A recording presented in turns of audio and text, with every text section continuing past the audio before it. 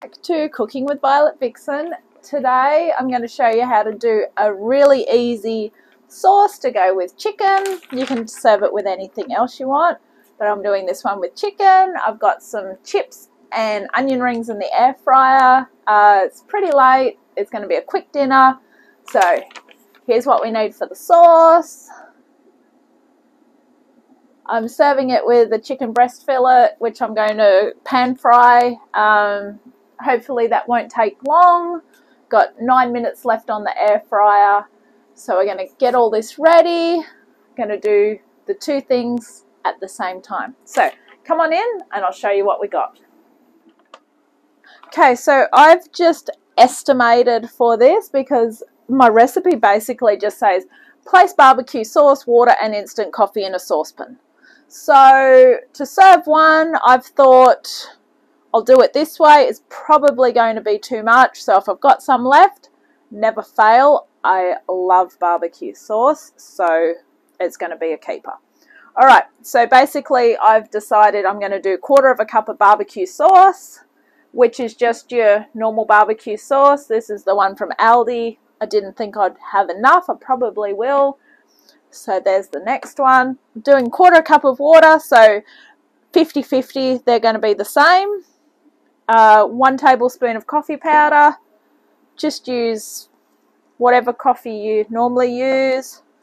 Uh, chicken breast fillet is what I decided on to go with this. You can serve it with something else if you want. Maybe you might want to do chicken nuggets or something with it.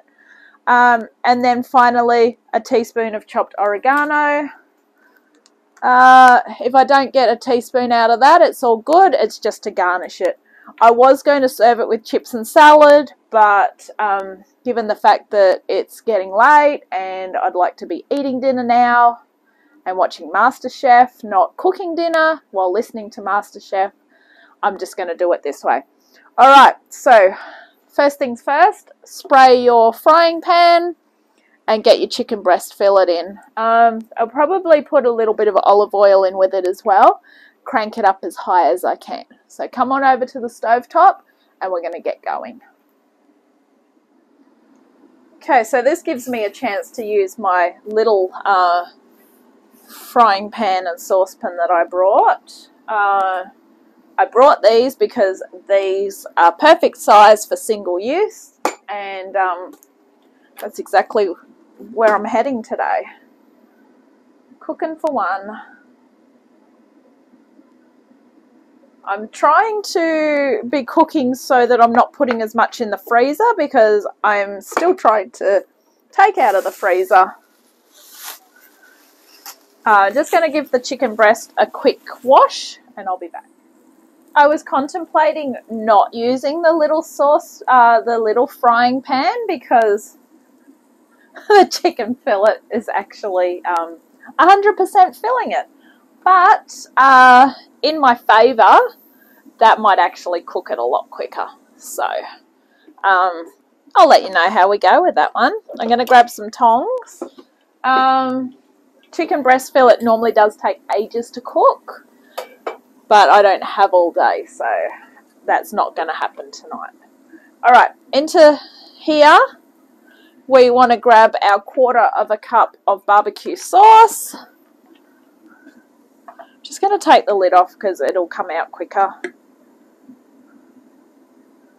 Oh, yum. Oh, I'm in luck because that's used all of that and I need water. So, you know what that means? I am going to put the water in that to rinse that down. And I'm going to rinse that out with it as well. So I'm going to grab my cup of, quarter cup of water. I'll be back. Okay, so you've probably seen me do a thing where I deglaze a tin, like normally I'll do that if I've got a tin of tomatoes or something like that or soup just so that I can get the rest of it out um, but I'm doing it with the bottle as well so probably going to get a bit of um, steam coming off the other one so good pyrotechnics, I suppose you could say. Alright, so this is my barbecue sauce. I'm just going to let that drain just for a little bit while I grab the coffee. That's close enough. Alright, I'm going to grab that coffee powder. I did say I'm going to use a tablespoon of coffee powder.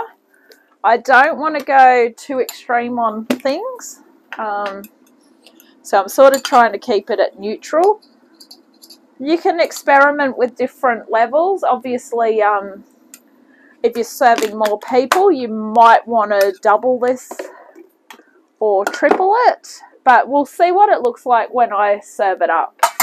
So just so you know, I haven't cooked this before. This is the first time cooking it.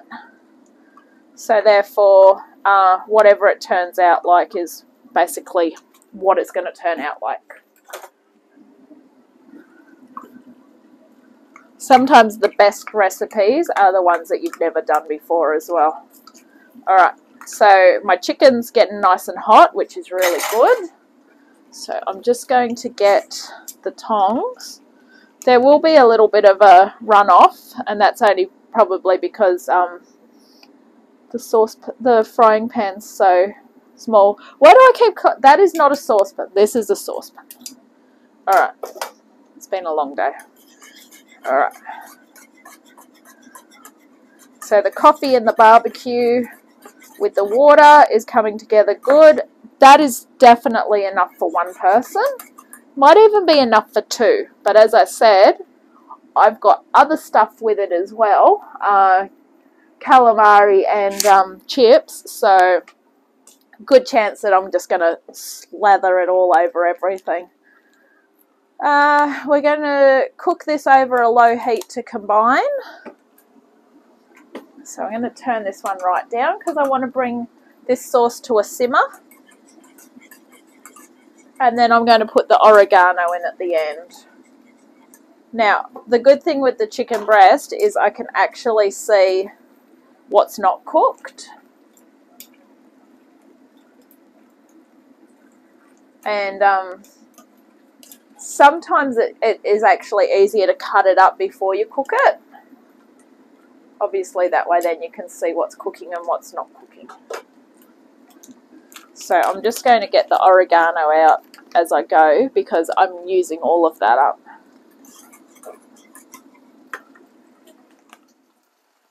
Now there's no need for me to measure this oregano because there is definitely not a teaspoon in here.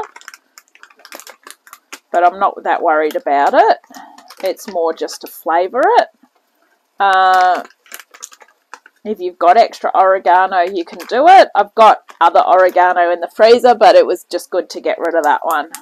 That one's a good one because it's all chopped up. They recommend that you use it within four weeks, but since mine's been in the freezer, I don't know if that still stands. It still looks good, so I'm happy enough with it. Now, I can put the other stuff away because when I dish up the onion rings and that, all I'm going to be having with it tonight is going to be this delicious sauce. I normally like a bit of aioli as well, but I'm going to try and get the full use of the coffee barbecue sauce tonight. Now, I'm just going to place that in like that. So I've really got to make sure this chicken's cooked through. So this is the best way to do it in the small pan at the really high temperature. So I'm going to be back when everything's all cooked. Alright, so I'm just checking back in with you. We're still still at a nice low simmer with the sauce. looking nice and thick. And the chicken breast I've just flipped over a couple of times. Becoming a nice golden colour. I'm going to keep it as hot as I can, only because that way it will cook quicker.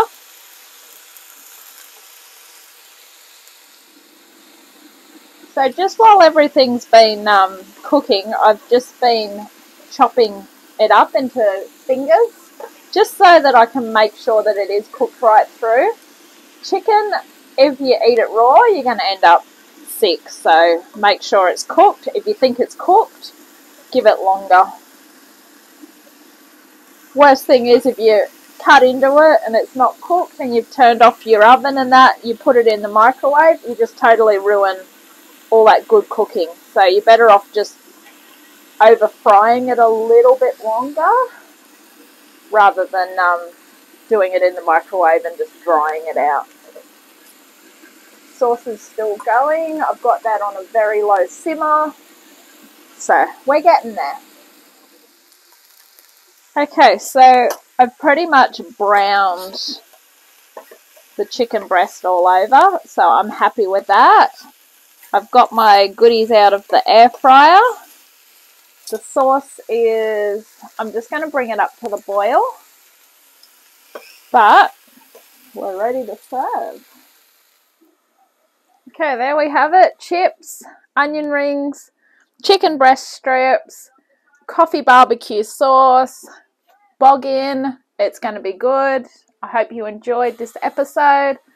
Catch you next time. Bye.